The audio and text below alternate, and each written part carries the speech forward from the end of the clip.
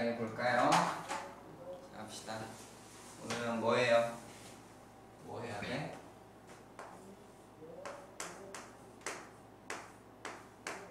화학 결합의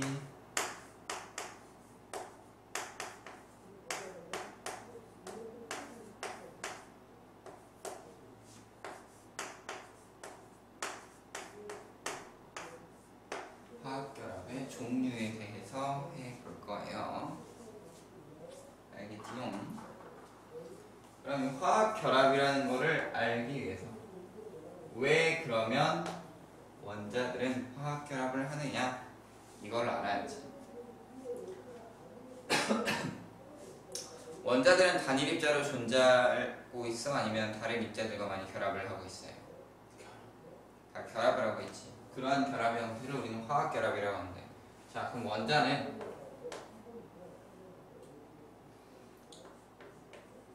자, 원자는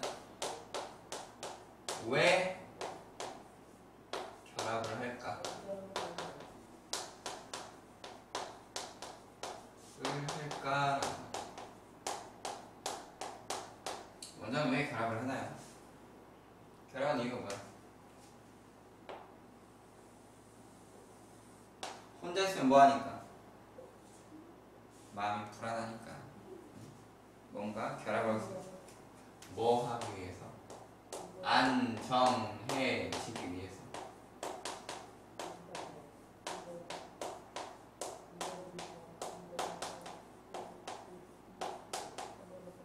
안정해지기 위해서 원자는 결합을 하는 거지 그쵸?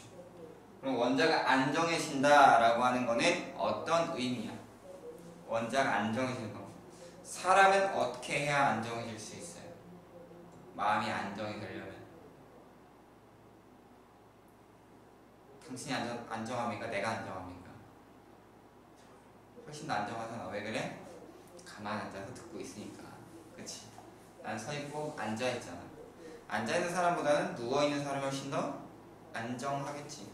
몸이 편안하잖아. 누워 있으면 이제 뭐해? 자고 싶고 잠들면 영원히 가고 싶잖아. 이렇게 사람 이 치죠. 아침에 눈 뜨기 쉬웠어, 어려웠어? 왜 아침에 눈 뜨는 게 어려울까? 왜냐면 가기 싫거든. 따뜻한 이불 속이 좋거든. 이불 밖은 위험한 거잖아요.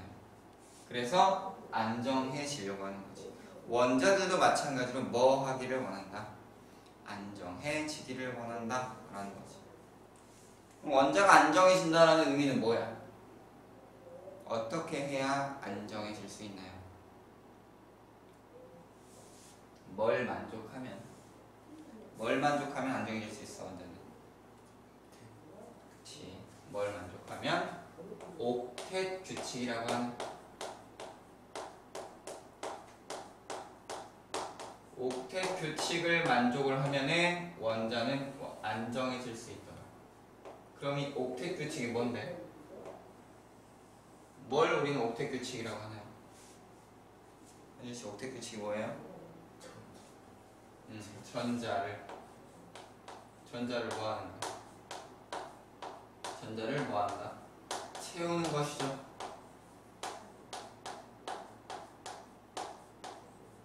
전자를 어디에 어떻게를 채워요? 전자를 어디에 어떻게 채우는 거예요? 어느 껍질? 제일 안쪽 껍질?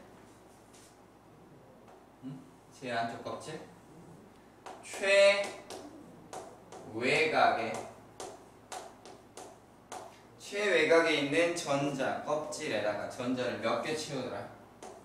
최외곽의 전자를 몇 개 채우는 것? 8개를 채우는 것 이게 뭐예요? 옥텟 규칙이지 그치? 단 제일 안쪽 껍질 첫 번째 껍질은 몇 개만 채워도 두 개만 채워도 안정해지더라 라는 거죠 그치? 그래서 이걸 뭐라고 한다? 옥텟 규칙이라고 하더라 알겠습니까? 자 이러한 게 옥텟 규칙인데 그러면 이 옥텟 규칙을 만족하는 입자들도 있어 없어? 있고 대부분의 원자들은 옥텟 규칙을 만족해 만족하지 않아 만족하지 않기 때문에 옥텟 규칙을 만족하기 위해서 결합을 형성하는 거지. 어떻게 전자를 주거나 혹은 전자를 받거나 하면서 결합을 만드는 거죠. 알겠습니까? 근데 일단 우리가 먼저 볼 거는 이 옥텟 규칙이라는 게 그러면 어떻게 이루어져 가느냐라는 거지. 자, 하나의 원자 핵이 있어요. octet 규칙을 만족한다라고 하는 게 어떤 의미냐? 원자 핵이 있으면 이 원자 핵 주변에 뭐가 배치가 돼요? 전자가 배치가 되죠. 그치? 전자가 배치가 되면서 자, 제일 안쪽 껍질 얘는 주기가 일주기이기 때문에 껍질이 하나이고 이렇게 전자를 두 개를 가지면 얘는 안정한 상태가 되어 불안정한 상태야. 얘는 지금 안정하죠. 이러한 원자의 모형을 가지는 게 누구야? 누구예요? 이거 헬륨이죠 헬륨. 전자가 두 개니까 양성자도 몇 개야? 두 개잖아. 응? 이러한 원자 헬륨이 있고 또 그 밑에 보면 또 어떤 친구가 있느냐? 원자 핵이 있는데 원자 핵이 있는데 얘는 전자 껍질을 몇 개 가져? 두 개를 가지는 친구가 있어요. 하나, 둘. 이렇게 가지고 전자가 배치된 형태를 봤더니 어떻게 배치가 되어 있느냐? 안쪽에 일단 두 개를 채웠고 그 다음 자리가 없으니까 바깥쪽에 몇 개를 채운다. 하나, 둘, 셋, 넷, 다섯, 여섯, 일곱, 여덟 개를 네, 플러스가 나옵니까? 여덟 개를 채웠습니다. 이런 식으로 배치된 원자 있어 없어? 있죠. 뭡니까? 전자가 몇 개야? 열 개지. 그럼 무슨 원자겠어?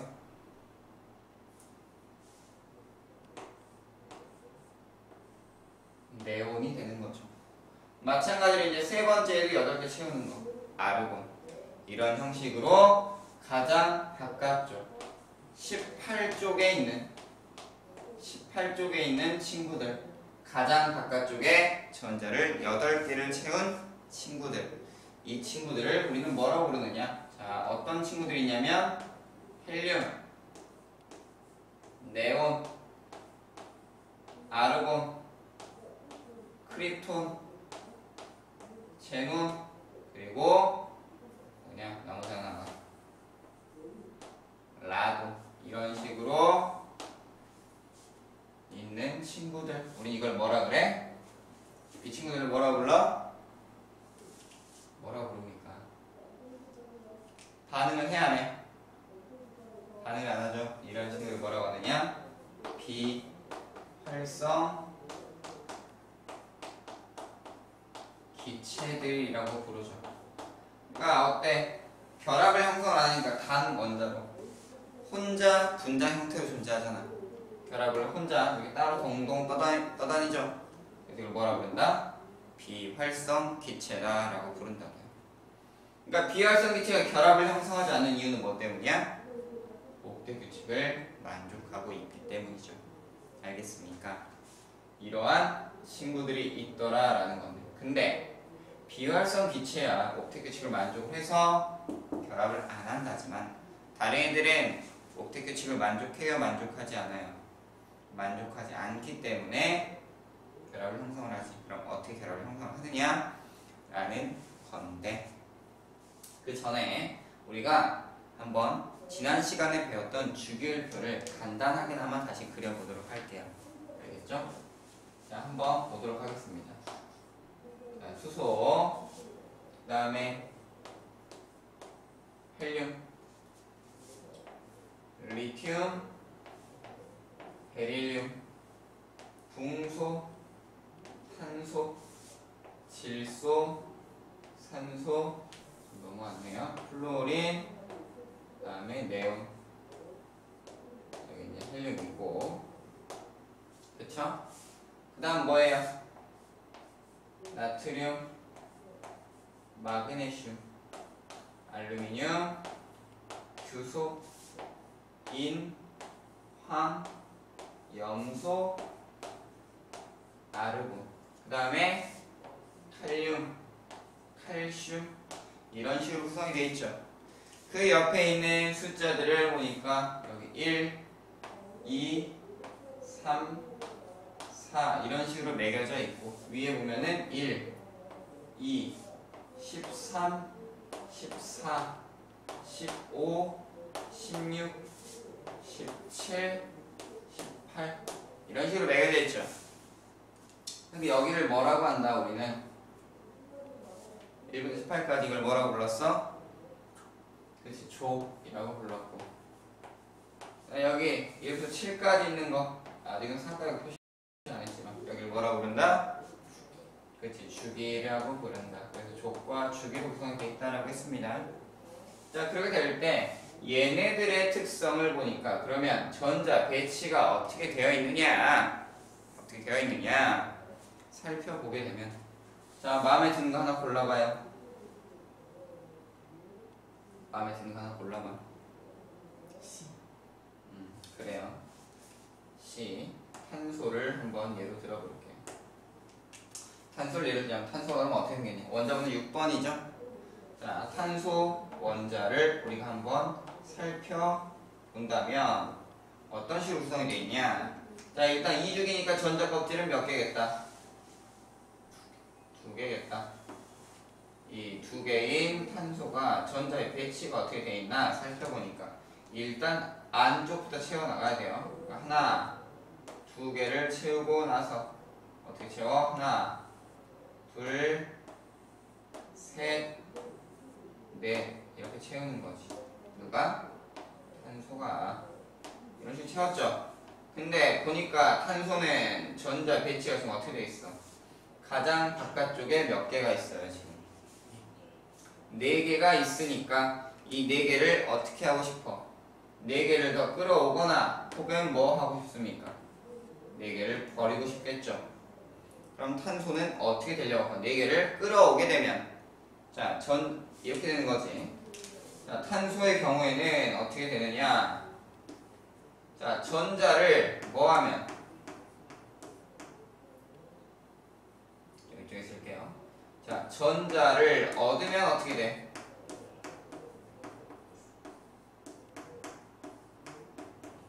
얘가 8개를 채울 수 있는 방법. 전자를 4개 얻어오면 핵자는 얼마야? 얘네 플러스 6이잖아. 근데 외부에서 전자를 4개를 얻어와. 그러면 마이너스는 얼마가 돼? 10이 되니까 전체적으로 전화량이 얼마가 됩니까? 그렇지, 마이너스 4. 그래서 4 마이너스 이렇게 되거나 되거나 혹은 어떻게 돼? 반대 방법은 4개를 얻어야 되고 또 어떻게 해야 돼? 전자를 뭐 해야 됩니까? 잃으면 어떻게 돼요? 이번 4개가 없어지잖아 그럼 어떻게 돼? C에서 4 플러스 이러한 형태로 나타날 수가 있게 되더라는 거지. 그러니까 뭘 띄어? 전자를 얻거나 잃으면서 전하를 띄게 되는 거지. 근데 왜 전자가 움직이는 거야? 원자 핵이 움직일 수 있잖아. 왜 전자가 움직이죠?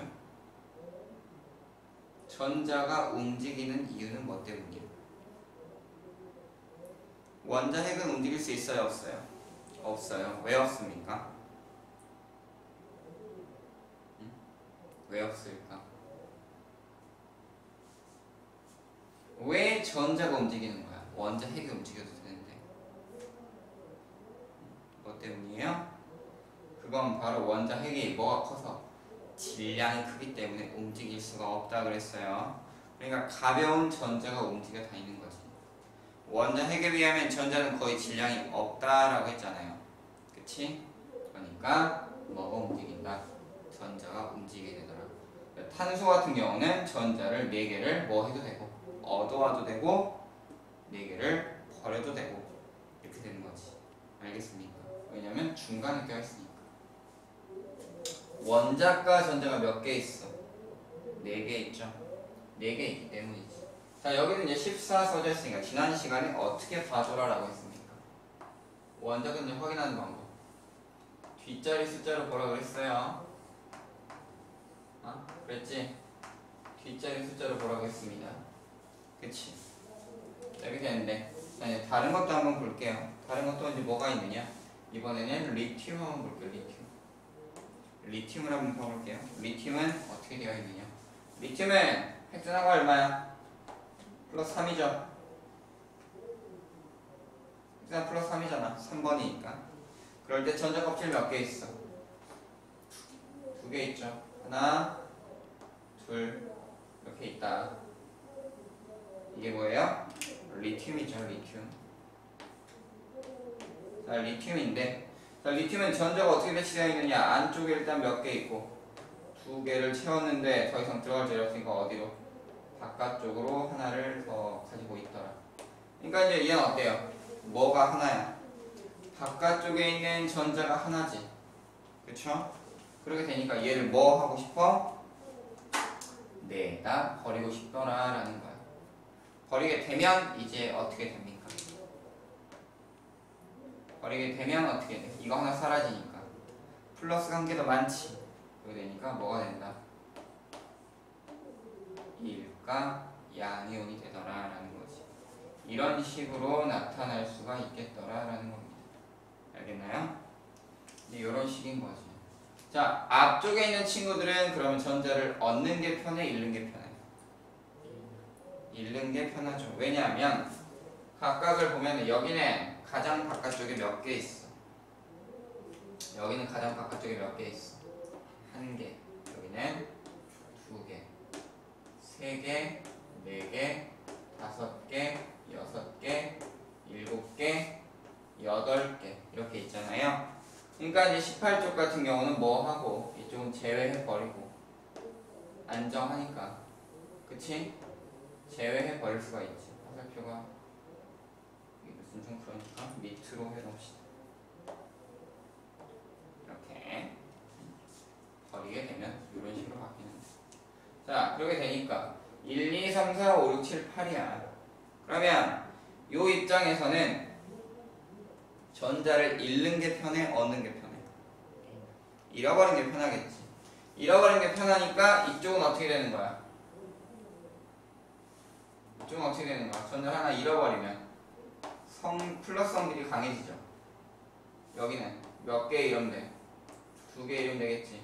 플러스 2. 여기는 플러스 3. 이런 식으로 가는 거지. 알겠습니까? 근데 이제 반대쪽은 어때요? 여기 여섯 개 있어. 그러면 여섯 개를 버릴까? 아니면 세 개를 얻어올까? 세 개를 얻어오는 게 편하겠지. 그래서 어떻게 돼? 마이너스 두개 얻어오면 되지. 마이너스 2.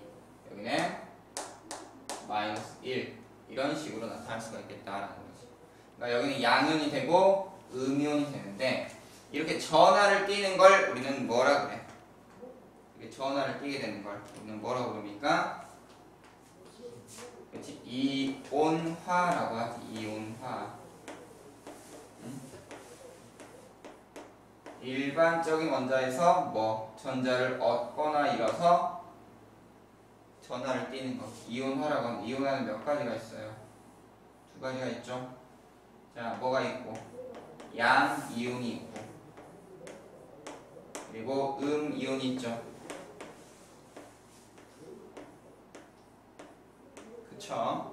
양이온은 전자를 어떻게 해? 전자를 뭐 한다? 전자를 잃는 거고 음이온은 어때요? 전자를 뭐 한다?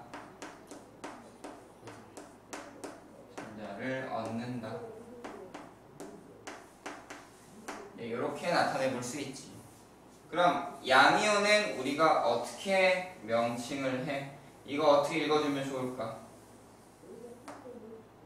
어떻게 읽어요? 리튬 이온으로 읽죠. 읽는 방법 뭐예요? 자, 양이온 같은 경우는 뭐 원자 이름에다가 플러스 뭘 붙여준다? 이온이라고 붙여주면 되지. 읽을 때. 그치? 음이온은 어떻게 읽어줘야 돼? 네모 박스가 있으면 어떻게 읽어줘요? 플러스 어떻게 해줘? 무슨 무슨 화 이온 이렇게 읽어줘야 되지. 또 하나 뭐는 생략 소는 뭐 해라 생략해라 이거 있잖아요. 그러니까 우리가 예를 들어 읽을 때 여기 있는 산소를 기준으로 한다면 산소는 뭐가 돼요? 산소는 뭐가 됩니까? O 이까 마이너스 이렇게 되니까 어떻게 읽어주면 돼? 얘 이름 뭐예요? 그러니까 이온 이름을 읽으면 그렇지 어떻게 읽어주면 돼? 산 소자 제거하고 화 이온으로 읽어주면 되겠다라는 거지. 음이온은 좀 읽는 방식이 다르죠. 알겠습니까? 이런 식으로 이온을 형성을 하게 되더라라는 겁니다. 자, 그렇게 될 때 이렇게 전하를 띠게 되면서 결합을 하는 형태가 있지.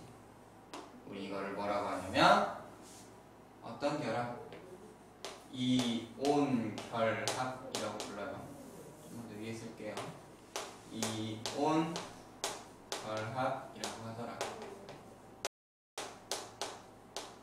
자, 이온 결합을 봤더니 앞에 쪽에 있는 애들은 전자를 잃어버리기 좋은 애들이잖아. 중간까지는 다 잃어버리기 좋겠죠. 그러면 앞쪽이랑 가운데, 왼쪽과 가운데 주로 차지하는 원소들 어떤 원소들이에요? 금속 원소들이지.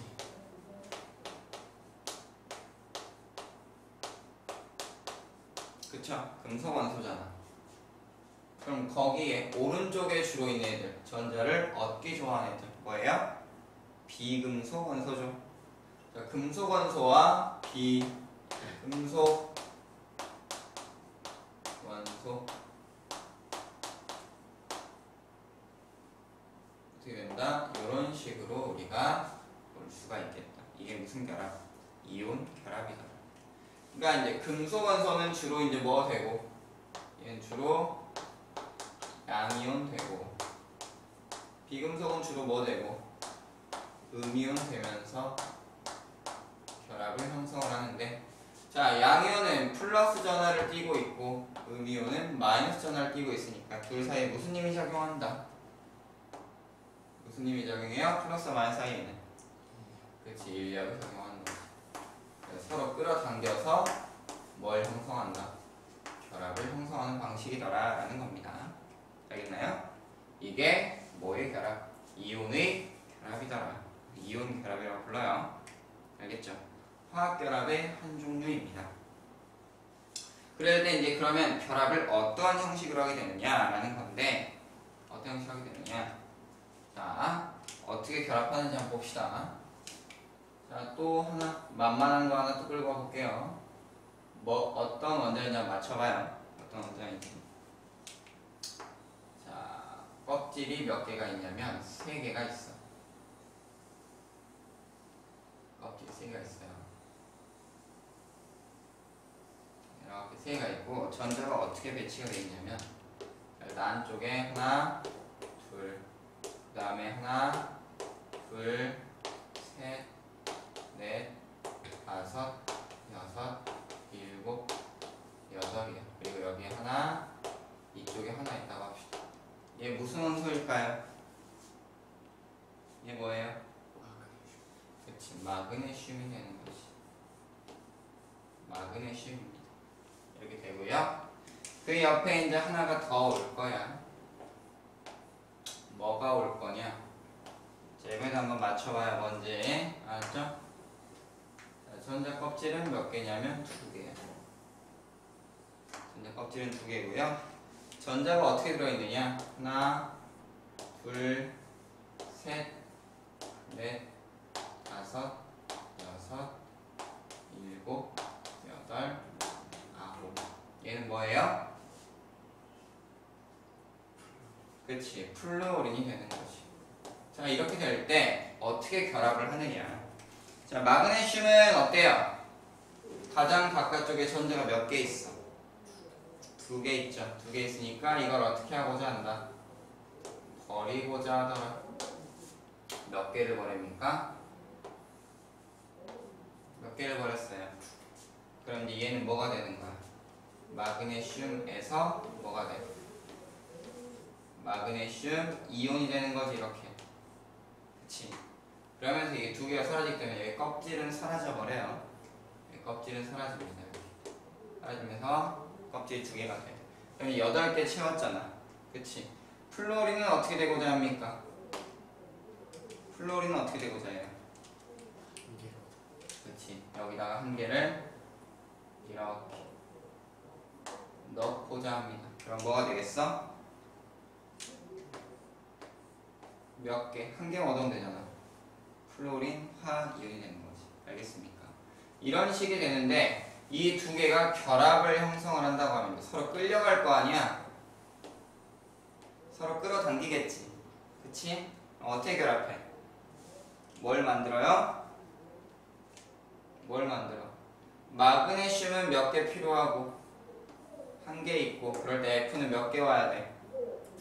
여기는 플러스이고 여기 마이너스 1이니까 두 개 와야 되지 그래서 Mg F2 이렇게 되잖아 그치? 그래서 이걸 뭐라고 읽어준다? 플로린화 마그네슘 이렇게 읽어주는 거지 그럴 때 여기 있는 2가 크로스돼요 어디로?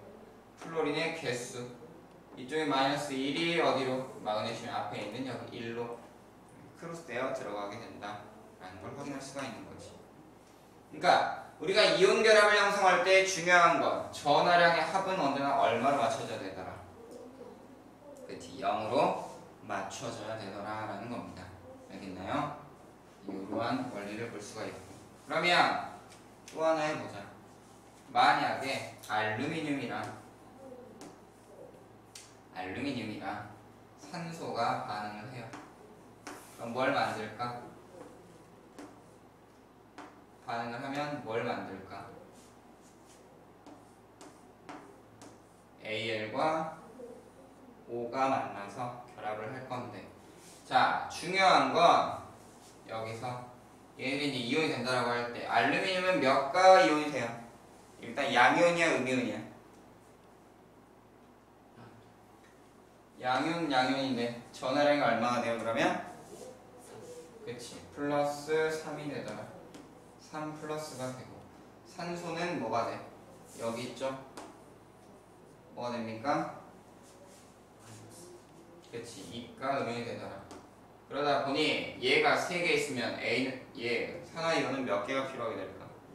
얘가 1, 3일 때 얘는 2잖아 몇 대 몇으로 맞춰줘야 전화량이 똑같아질까? 알루미늄 몇 개 오고 두 개 오고 얘는 얼마 몇 개 오고 세 개가 와야 되는 거지. 그렇게 됨으로써 어떻게 돼? 여기 3이 여기 밑으로 가면 되죠. 그럼 여기 3 여기는 앞으로 오면 되지. 그래서 Al2 O3라고 하는 뭘 만든다? 산화 알루미늄이라는 걸 만들어낼 수가 있겠더라라는 겁니다. 알겠나요? 그러니까 이러한 형식으로 뭐가 만들어져? 이온 결합이 만들어지더라. 그 힘을 뭐에 의해서? 전하를 띠게 되면서 정전기적 인력이라고 하는 전기력에 의해서 전자기력에 이렇게 만들어지는 게 뭐다? 이온 라라는 겁니다. 알겠나요? 어렵지 않죠? 이게 이제 이온 결합의 대략적인 내용이에요. 그러니까 이온 결합에서 중요한 건 뭐냐면 뭘 맞춰주는 거. 전하량의 합을 얼마로 맞춰주면 된다? 0으로만 잘 맞춰주면 특별히 뭐 이온 결합은 어려울 거 없고 읽을 땐 어떻게 읽어줘? 뒤에서부터 앞으로 읽어주는 건 알죠? 근데 어떻게 돼? 산화 알루미늄. 화학식 썰 때는 이렇게 해주고 읽을 때는 뒤에서부터 앞으로 읽어주더라. 이렇게 되는 거죠. 알겠죠? 이게 뭐다? 이온 결합이다. 근데 이온 결합만 있는 게 아니라 또 다른 결합도 있는데 우리 원소를 종류를 쪼개보자면 몇 가지로 쪼개볼 수 있어? 크게 원소를 두 종류로 나눠볼 수 있다 그랬죠. 뭐와 뭐? 금속과 비금속으로 나눠볼 수 있다 그랬죠 원소를. 그 중에서 금속과 비금속의 결합이 하나가 있었으니까 결합은 총 몇 종류가 있을까?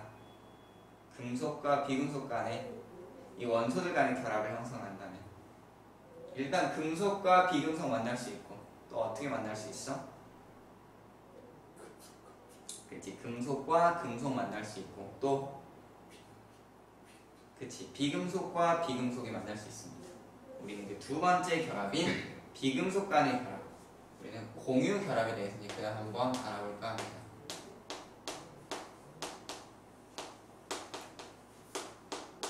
자, 공유 결합입니다.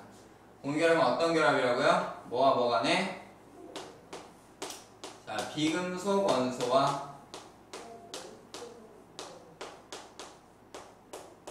비금속 원소 간의 결합입니다.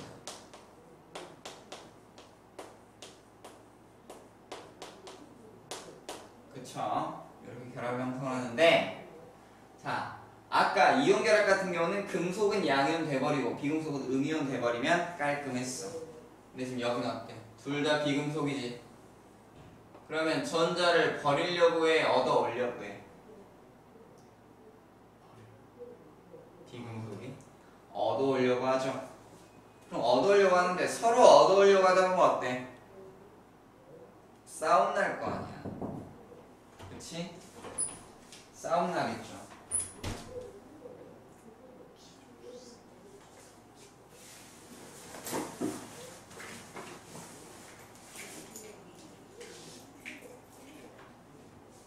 싸움 나겠지.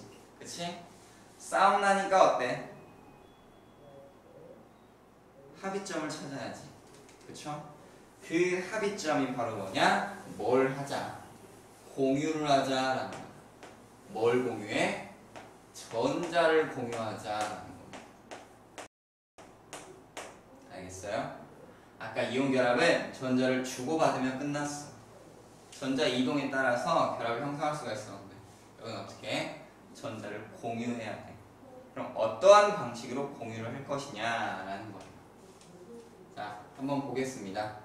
어떤 식으로 전자를 공유하느냐? 자, 아주 깔끔한 거 하나만 그려볼게요. 깔끔하게 하나 어떻게 공유를 하느냐? 얘 누구야? 누구예요? 수소죠, 수소. 옆에도 또 하나의 수소가 있다고 합시다. 수소가 이렇게 두 개가 있어요. 이렇게 두 개가 있습니다. 자, 이렇게 있을 때, 이렇게 있을 때, 이렇게 이렇게 이렇게 이렇게 이렇게 자, 수소가 두 개가 있어요. 얘도 수소, 얘도 수소인데 얘들은 지금 안정한 상태야, 불안정한 상태야. 불안정하죠. 그럼 안정해지려면 어떻게 해야 돼? 옥텟 규칙을 만족해야 돼. 그럼 어떻게 해야 돼요? 전자를 하나씩 더 채워야 돼. 채우려고 했더니 서로 뺏기려고 할까 안 할까? 안 하겠지. 둘이 합의를 합니다. 우리 서로 필요한데 뭐 하자? 전자를 서로 공동 소유를 하자. 공동 소유를 합니다. 어떻게 공동 소유를 하게 되느냐? 이런 식으로 공동 소유를 하는 거지. 자, 원자 핵이 있어요. 원자 핵, 원자 핵이 있을 때. 아까 전자 껍질 있잖아요. 전자 껍질을 어떻게 하냐? 이렇게 겹쳐. 전자 껍질을 이렇게 겹칩니다. 이쪽으로 그리고 이쪽으로 이렇게 겹쳐. 그리고 나서 어떻게 하느냐? 여기에 전자를 이렇게 딴 것입니다. 이렇게 딴 거예요. 딱 넣는 거. 그럼 어떤 일이 생기느냐? 이 수소 입장에서는 어떻게 돼? 전자 껍질을 수소 두 개 넣어놨지. 그치? 요 수소 입장에서는 요 전자 껍질 안에 수소 두개 넣어놨지. 얘도 그러면 만족, 얘도 그럼 만족이지. 그럼 어떻게 되는 거야? 수소 두 개가 하나가 되어 결합을 형성을 했더라는 거지. H2 뭐가 된 겁니까? 수소 분자가 되었죠. 그러니까 수소 원자 두 개가 각자 떨어져 있으면 불안정하지만 수소 분자가 되면서 어떻게 돼? 안정한 상태가 된 거지. 알겠습니까? 이런 식으로 결합을 형성을 하는 거예요. 되겠나요? 자, 또 어떤 게 있냐? 또 어떤 게 있냐? 음, 이번에는 이 수소 외에 또 누가 오느냐? 산소가 와, 산소. 자, 산소는 어떻게 생겼어? 산소는 어떻게 생겼어? 원자 핵이 있고 전자 껍질은 몇 개예요? 두 개죠, 두 개. 하나 그리고 둘입니다. 이렇게 해요. 전자는 몇 개가 채워져 있느냐? 일단 안쪽에 하나, 둘 이렇게 채우는 거야. 그러면서 하나, 둘, 셋, 넷, 다섯, 여섯 이렇게 가지고 있는 거. 이게 누구예요? 산소입니다. 산소. 휴. 산소. 알겠죠? 이렇게 되고 이제 그 옆에 누가 왔냐면 수소들이 하나씩 와. 수소들이 이렇게 있어요. 수소들이 하나씩 있어서 이렇게 이렇게 되는 거지. 이때 이제 전자를 얘도 하나, 얘도 하나 이렇게 가지는 거지. 얘도 수소, 얘도 수소죠. 자, 그렇게 되면 얘네 셋 다 지금 어떤 상태야? 안정해요? 불안정해요? 불안정하니까 이제 어떻게 하기를 원하겠어? 안정한 상태가 되길 원하겠지. 그치? 안정한 상태가 되고자 합니다. 그럼 어떻게 안정한 상태가 될 수가 있을까? 얘는 안정해지려면 몇개 필요해? 두 개가 필요합니다. 얘네들은 각각 하나씩 필요하죠. 어떻게 하자? 뭘 공유하자? 전자를 공유하자라고 하는 거예요. 그럼 전자를 어떻게 공유를 하느냐? 산소 이렇게 있으면 가장 바깥쪽에 있는 전자 있죠. 가장 바깥쪽에 있는 전자를 각각 수소에게 하나씩 제공을 합니다. 어떻게 제공을 하냐면 안쪽은 일단 상관없죠. 이렇게 이렇게 그래서 이제 어떻게 하냐면 하나씩 이렇게 제공을 하는 거야. 누가? 산소가 산소가 제공을 해요. 그러면 수소들은 뭐 해야 돼? 수소들도 뭐 하겠어? 자기들 받았으면 제공하겠지. 수소는 어떻게 제공을 해? 이렇게 있고, 그 다음에 이렇게 있으면, 이렇게 있으면 어떻게 하느냐? 자기들도 똑같이 이제 제공을 해주는 거지. 이렇게 이렇게 되잖아요. 그래서 자기들도 제가 갖고 있는 하나씩 이렇게 내어 놓는 거죠. 알겠습니까? 자, 그렇게 되면서 산소 입장에서는 하나, 둘, 셋, 넷, 다섯, 여섯, 일곱, 여덟 개가 됐고 수소 입장에서도 둘, 여기서도 이렇게 둘 이렇게 된 거잖아. 알겠어요? 그럴 때, 자 여기 보면은 여기 지금 파란색으로 지금 네모 쳐진 이 전자들은 어때? 뭐 돼 있어?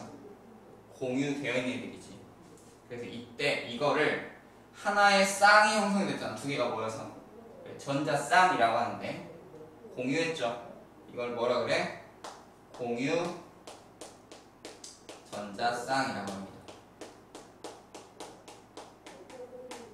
공유 전자 쌍.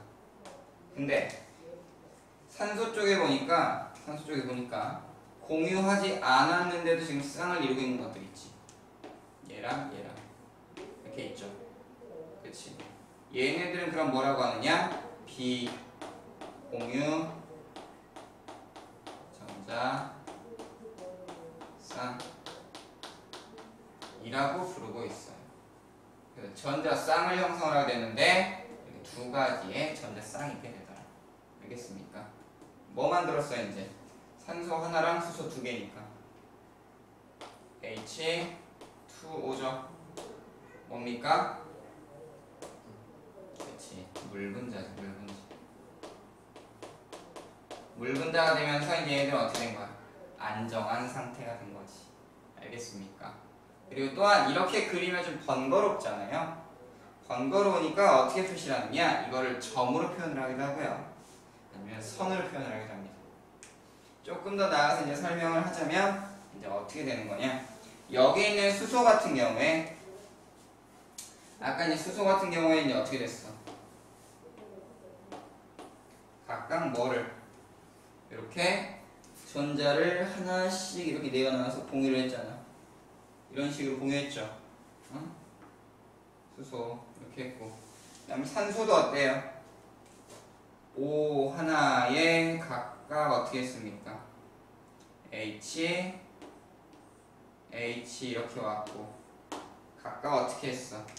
일로 이렇게 하나씩 공유를 했죠. 그리고 이쪽도 어때? 이런 식으로 해놨잖아. 그치? 이런 식으로 해서 여기는 H2 여기는 H2O를 만들었는데 여기 지금 이렇게 좀 점으로 찍어놨어요. 이렇게 표시하는 걸 뭐라고 하냐면 이거를 누가 개발했냐면 루이스라고 하는 과학자가 개발을 했습니다. 루이스라고 하는 과학자. 그래서 이걸 뭐라고 하냐면 루이스 루이스 전자 점식이라고 해요. 루이스 전자 점식 알겠나요? 그 다음에 이렇게 점을 찍는 것도 좀 번거롭다. 그래서 어떻게 하느냐? 이 전자쌍을 하나의 선으로 그냥 보는 거야.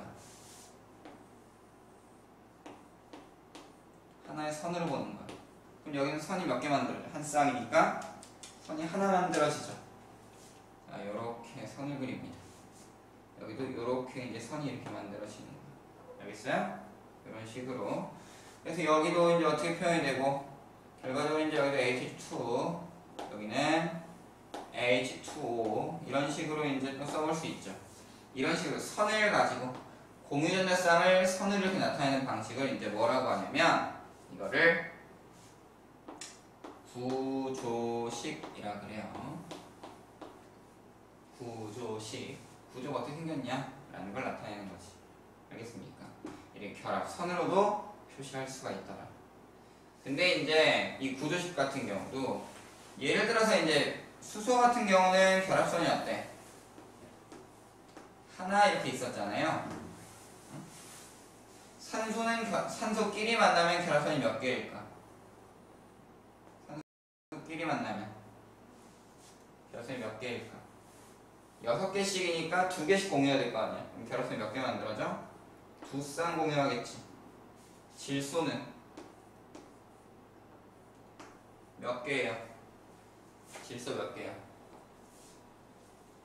질소 몇 개예요? 다섯 개잖아. 그래서 결합선이 몇 개 만들어져? 이게 세 개 만들어지겠지. 그래서 각각 뭐라고 하느냐? 선이 하나인 걸 단일 결합.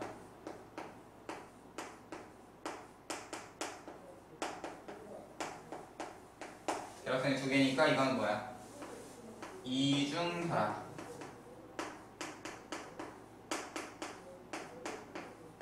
여기 선이 세 개니까 삼중 결합.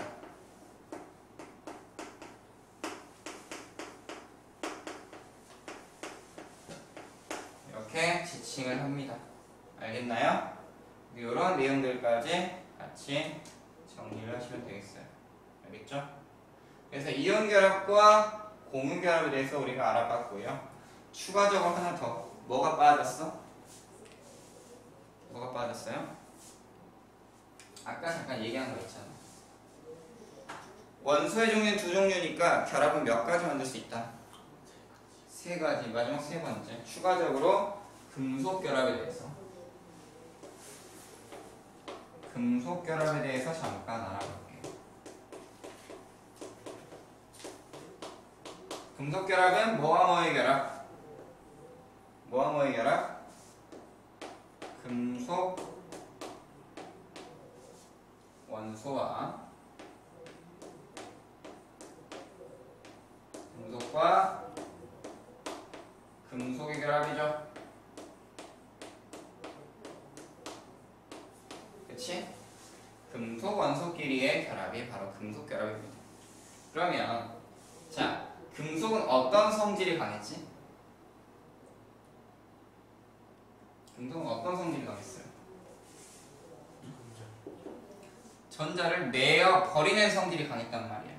그러다 보니까 어떻게 되느냐? 금속들이 있으면 금속들이 있으면 서로 뭐 해요? 금속들끼리만 이렇게 있으면 전자를 서로 주려고 하겠지. 서로 주려고 하니까 어때? 전자가 막 흩어져 있을 거 아니야.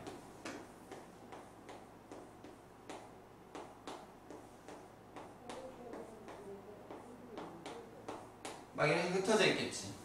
그렇게 되면서 자 원자의 끝끼리는 사이가 좋아 안 좋아? 원자의 끝끼리는 사이가 안 좋아. 근데 전자들이 사이에 껴 있으니까 결합력이 형성이 되겠지. 얘는 마이너스 성질 띄고 있으니까. 그러니까 원자의끼리는 같은 전하를 띠기 때문에 청력, 반발력 작용을 하지만 사이에 전자들이 있어서 인력이 구성이 되더라. 그럼 약간 거리를 뗀 상태로 이렇게 다 붙어 있겠지 따닥따닥. 그래서 얘네들 톡톡 치더라도 깨져 안 깨져? 멀쩡 유지가 됩니다. 어디서 많이 본 구조이지 않아요? 어디서 봤어요? 어디서 봤을까요? 좀 더 힌트를 줄까요?